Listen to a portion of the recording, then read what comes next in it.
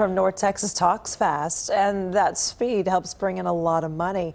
She was just named champion at an international competition for auctioneers. And Fox 4's Shannon Murray sat down with Morgan Hopson to talk about her new title and her path to success.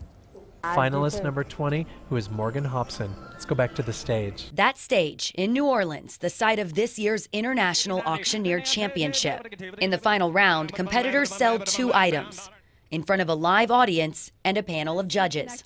Here we go. Want it tonight, guys? What do you say? Auctions on. How Have dollars on it. What do you get 25? What do you get 25? 30. What do you get 30? Now 35. What do you get 35? And with that, sold it your way. $225. Sold it. She won. I'm the 2019 Women's International Auctioneer Champion. It's a prestigious award for Morgan Hopson, the 30 year old first generation auctioneer from the small town of Bonham near the Texas Oklahoma line. I can't say that I ever in a million years would have dreamed of being an auctioneer, but I wholeheartedly believe that God leads us in life where we're supposed to be if we listen. She graduated from Texas Christian University with degrees in music and business.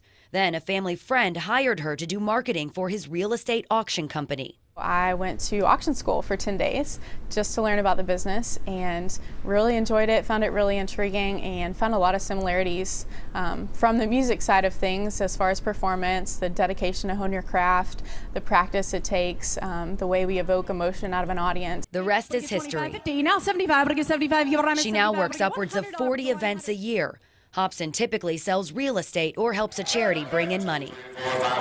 We met at Scottish Rite Hospital in Dallas, which partners with the Texas Auctioneers Association for a children's fun auction every December. For them to entrust us with that opportunity and to be able to give back and to raise money knowing that they're going out and they're helping others, that's you know, you couldn't ask for anything more. It's a male dominated industry. Only 17% of auctioneers nationwide are women.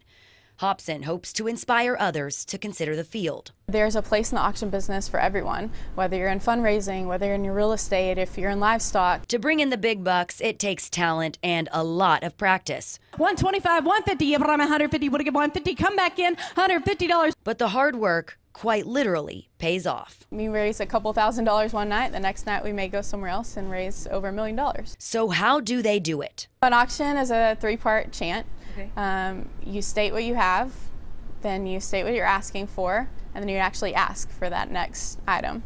So it would sound something, you know, you'd say, um, I'm bid 25, now 30, what do you give 30? Sounds simple enough. If you speed it up, it would sound something like, how about dollars on it? But I get 25, but I get 25, 30, but I get 30, now 35, but I get 35, 30 bid here, now 35, but I get 30. It's not. now 45, but I get 45, 50, 45 bid here, now 50, but I get 50, 50 here, now 60, but I get 60, 50 bid here, now 60, but I get 60, 50 bid, now 60, but I get 60. Sold it your way, $50, sold it, $50. Shannon Murray, Fox 4 News.